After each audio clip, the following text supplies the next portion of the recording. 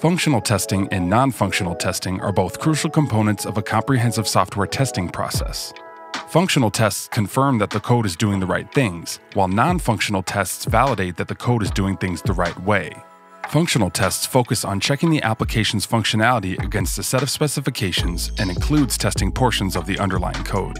Functional testing is the more strictly necessary of the two categories. The problems these tests look for don't have workarounds, they need software based solutions.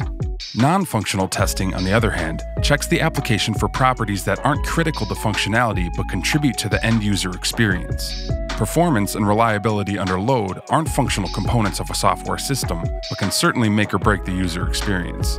The most neutral approach to testing choices includes a comprehensive mix of functional and non functional testing. Many developers follow the testing pyramid. Because they are quick to write and execute, unit tests make up the base of the pyramid. As they advance upward, developers implement a smaller number of tests using methods like integration testing, then they progress toward practices like user acceptance testing at the end of the process. Organizations can reduce the costs associated with implementing and maintaining a testing process by integrating functional and non functional tests into a continuous integration and continuous deployment pipeline.